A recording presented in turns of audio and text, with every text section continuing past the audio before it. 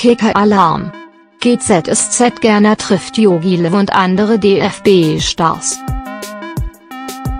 Weltmeisterliche Stimmung bei GZSZ.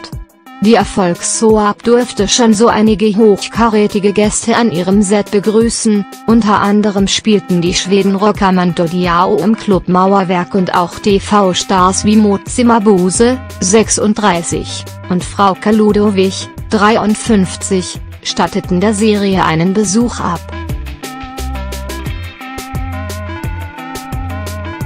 Jetzt beehrten die amtierenden Fußballweltmeister den Filmpark Babelsberg zur großen Begeisterung der Schauspieler. Ein wahres WHOs WHO der Sportwelt lief am Dienstag am Set von Deutschlands bekanntester Soap auf, Nationaltorhüter, 27, die Verteidiger Mats Hummels, 28, und JE mit akuter O mit Circumflex Mebaten, 29, und die Mittelfeldhammer Toni Kroos, 27, und Joshua Kimmich, 22, besuchten die Dreharbeiten.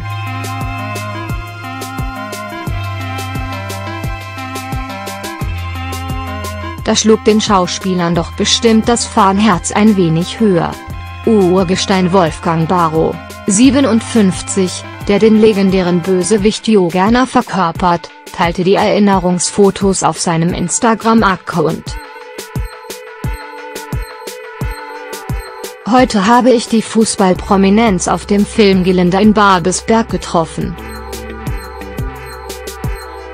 Allen voran der wunderbare Yogi Löw.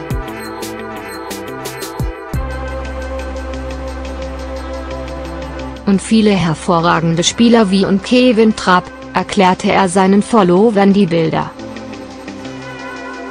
Auch Grüß an Hikawatzi, Felix van de Winter, 21, und Lea Malen-Wittag, 30, knipsten Pics mit den Sportprofis. Für FC Bayern München Kicker war es übrigens nicht der erste Setbesuch, erst im März hatte der 22-Jährige in Babelsberg vorbeigeschaut. Würdet ihr die DFB-Stars gerne einmal in einer Gastrolle beisehen? Stimmt ab.